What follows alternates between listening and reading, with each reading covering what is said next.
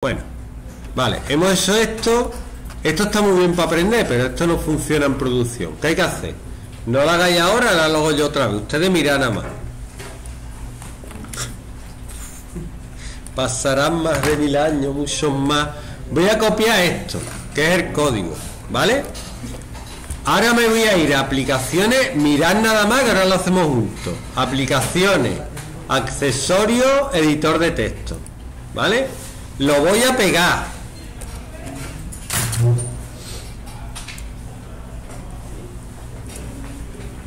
Y lo voy a guardar. ¿Dónde lo voy a guardar?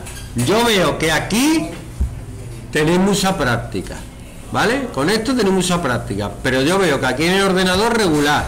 Porque yo le he dicho a la gente esta mañana, hacer una carpeta, guardar un archivo y se han quedado así. Digo, no. Vamos a ver. Crea una carpeta, ¿dónde? En documento ¿Con qué nombre creo la ¿Dónde creo la carpeta? Aquí. Crear carpeta. ¿Qué nombre le pongo? Vuestro nombre. Por ejemplo. Concha Velasco y José Luis Lucero. ¿Vale?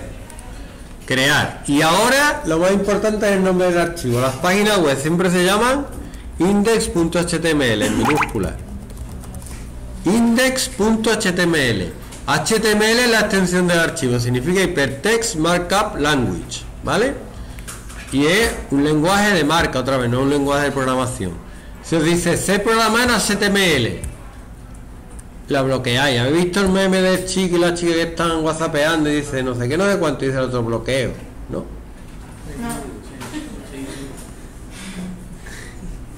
Es que, no, es que así no se puede dar clase. Guardar. Vale, ¿qué he hecho? Me voy a ir a lugares, documentos, con Velasco.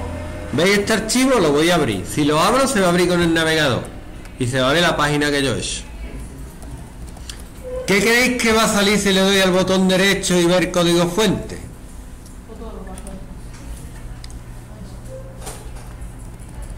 Y ahora paro el vídeo y lo hacemos todos juntos.